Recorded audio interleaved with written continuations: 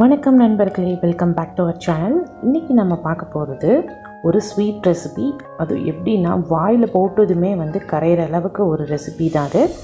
இது வந்து ரவா கேரம்பிள் புட்டிங் தான் இன்றைக்கி நம்ம எப்படி செய்யலான்றதை பார்க்க போகிறோம் இது ரொம்பவே சிம்பிள் அவன் எதுவுமே தேவையில்லை. நம்ம நார்மலாக இட்லி பாத்திரம் இருந்துச்சுனாலே போதும். அதை வச்சே நம்ம வந்து இந்த புட்டிங்கை வந்து ரெடி பண்ணிடலாம். இது குழந்தைங்கள்லேருந்து பெரியவங்க வரைக்கும் நல்லா விரும்பி சாப்பிடுவாங்க. வாயில் போட்டதுமே அப்படியே வந்து ஸ்வீட் வந்து கரைஞ்சிரும். அவ்வளோ சாஃப்டாக டேஸ்டியாக இருக்கும். வாங்க இந்த ரெசிபி எப்படி செய்யலான்றதை பார்க்கலாம்.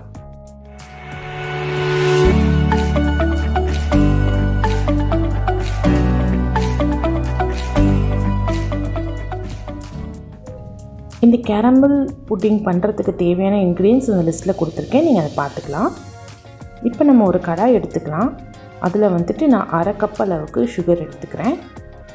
ஸோ ரெண்டு டைம் நம்ம சுகர் எடுப்போம். இதை ஃபஸ்ட்டு வந்து நம்ம வந்து இதை கேரமலைஸ் பண்ணோம் அதாவது உருக்கி ப்ரௌன் கலர் வர வரைக்கும் நம்ம இந்த சர்க்கரையை வந்து பாகு காய்ச்ச போகிறோம் இப்போ நான் வந்து ஒரு டேபிள் ஸ்பூன் அளவுக்கு தண்ணி ஊற்றிருக்கேன் இது அப்படியே மிக்ஸ் பண்ணிகிட்டே இருங்க.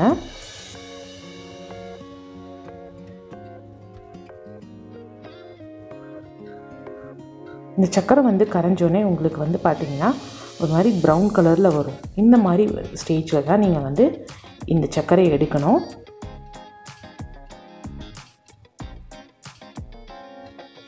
இப்போ நம்ம இந்த புட்டிங்கோட பேஸ் வந்து ரெடி ஆயிடுச்சு. இதுதான் நம்மளுக்கு வந்து பேஸ் இந்த கேரமல் புட்டிங்க்கு ஸோ உங்கள்கிட்ட ஏதாவது மோல்டோ இல்லைனா வந்து ஏதாவது ஒரு பாத்திரம் அளவு எடுத்துக்கோங்க.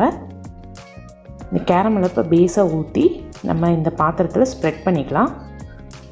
பார்த்து நீங்கள் இந்த கேரமலை ஊற்றுனோடனே ரொம்ப சூடாக இருக்கும். அதனால் நீங்கள் பார்த்து ஹேண்டில் பண்ணுங்கள் இந்த மாதிரி செட் பண்ணிவிட்டு நீங்கள் அப்படியே வச்சுருங்க. இந்த கேரமல் வந்து நல்லா செட் ஆகட்டும். நம்ம ஓரமாக வச்சிடலாம். இப்போ நம்ம அடுத்ததாக வந்து ரெண்டு எக்கு எடுத்துக்கலாம்.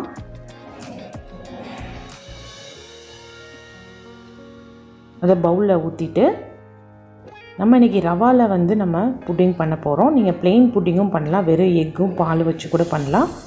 நான் இன்றைக்கி கொஞ்சமாக ரவாவை ஆட் பண்ணிக்கிறேன். இப்போ இந்த முட்டையோட ஒரு கா கப் அளவுக்கு வந்து சர்க்கரை நம்ம சேர்த்துக்கலாம். உங்களுக்கு இன்னும் சர்க்கரை தேவைன்னா நீங்கள் வந்து ஆட் பண்ணிக்கலாம்.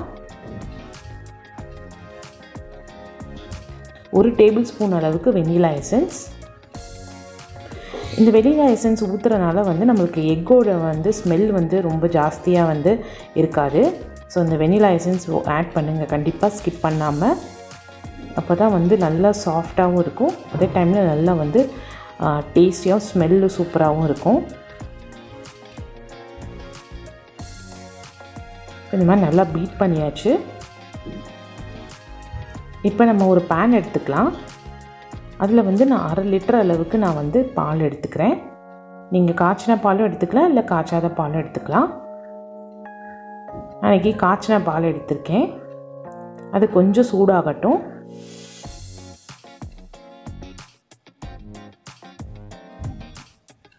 இப்போ பாருங்கள் பால் சூடாயிடுச்சு. நம்ம இப்போ வந்துட்டு கால் கப் அளவுக்கு ரவை எடுத்து வச்சுருக்கோம்ல அதை நம்ம வந்து கொஞ்சம் கொஞ்சமாக சேர்த்து இப்படி கைவிடாமல் கிளப்பிக்கோங்க.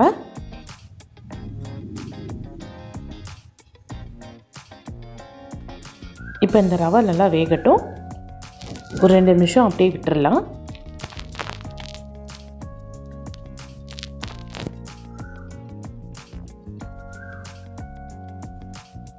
இப்போ பாருங்கள் ரவை நல்லா வெந்துருச்சு. இப்போ பாருங்கள் பாலும் நல்லா திக்காக க்ரீமியாக இருக்குது பாருங்கள் ஸோ அதுலேயே நம்மளுக்கு தெரிஞ்சிடும். ரவை வந்து நல்லா வெந்துருச்சுன்னு.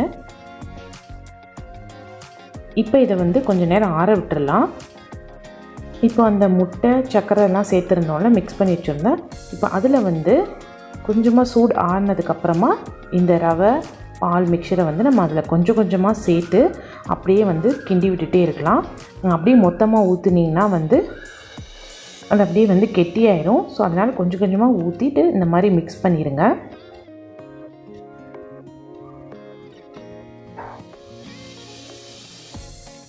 இப்போ பாருங்கள் நல்லா மிக்ஸ் பண்ணியாச்சு.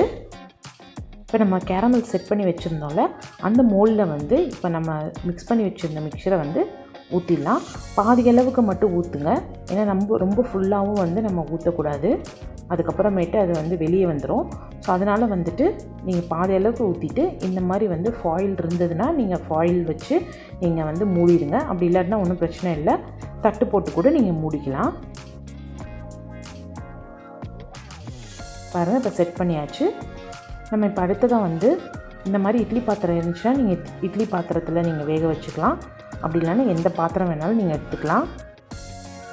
அதில் கொஞ்சமாக தண்ணி கொதிச்சதுக்கப்புறம் இந்த நம்ம கேரமல் புட்டிங்கை வந்து நம்ம வந்து வேக வச்சிடலாம் அப்படியே. மிதமான சூட்டில் வந்துட்டு ஒரு முப்பது நிமிஷம் வரைக்கும் வேக வச்சுருங்க. வேக வச்சுட்டு நீங்கள் வந்து செக் பண்ணிக்கோங்க. ஒரு கத்தியோ இல்லை டூத் பிக்கோ வச்சு நீங்கள் வந்து குத்தி பார்த்துட்டு வெந்துருச்சுன்னா நீங்கள் வந்து வெளியே எடுத்துகிட்டு கொஞ்ச நேரம் வந்து அது ஆற விட்டுருங்க. வா சூப்பராக இருக்குது பாருங்கள் அவ்வளோ சாஃப்டாக இருக்குது அதே டைமில் அப்படியே ஜெல்லி மாதிரி இருக்குது இப்போ பாருங்கள் நல்லா வெந்துருச்சு. ஸோ இப்போ வந்து நம்ம ஓரங்களில் வந்து இந்த மாதிரி நம்ம வந்து கத்தி வச்சு எடுத்துக்கலாம். பார்க்கவே அவ்வளோ சூப்பராக இருக்குது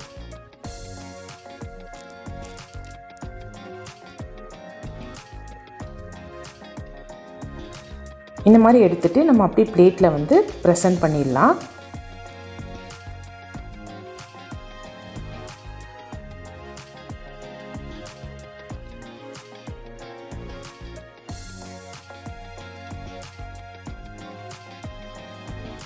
அவ்வளோ ஈஸியாக அப்படியே வந்துடும்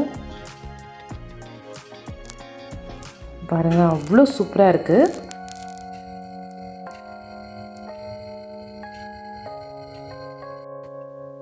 இப்போ உங்களுக்கு எப்படி விருப்பமோ அதுக்கேற்ற மாதிரி நீங்கள் வந்து டெக்கரேட் பண்ணிக்கலாம்.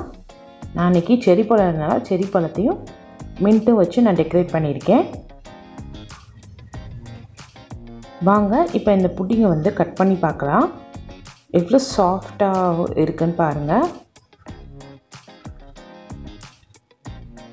இது கண்டிப்பாக உங்கள் வீட்டில் செஞ்சு பார்த்துட்டு எப்படி இருக்குன்றத கமெண்ட் பாக்ஸில் சொல்லுங்கள் இந்த வீடியோ பிடிச்சிருந்துச்சுன்னா லைக் பண்ணுங்கள் ஷேர் பண்ணுங்கள் கமெண்ட் பண்ணுங்கள் மறக்காமல் சப்ஸ்கிரைப் பண்ணிடுங்க பக்கத்தில் இருக்க பெல்லையும் ப்ரெஸ் பண்ணிடுங்க அப்போ தான் நான் வீடியோஸ் லோட் பண்ணுறப்போ உங்களுக்கு நோட்டிஃபிகேஷன்ஸ் வரும். Thank you so much